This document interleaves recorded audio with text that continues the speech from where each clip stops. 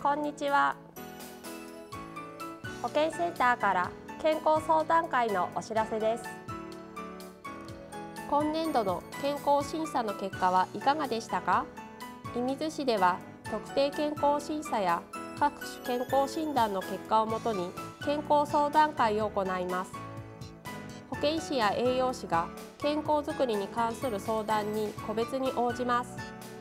血糖や脂質血圧の値が気になる方生活習慣を見直したいけれど何から始めたらいいのかわからないという方相談会に参加して生活習慣を改善する方法を一緒に見つけてみませんか？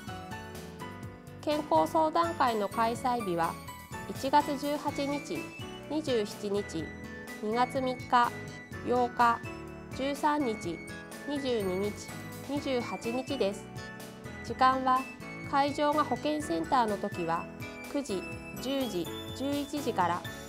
他の会場の時は13時30分、14時30分、15時30分からで所要時間は50分程度です。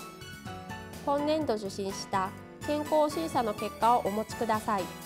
参加費は無料です。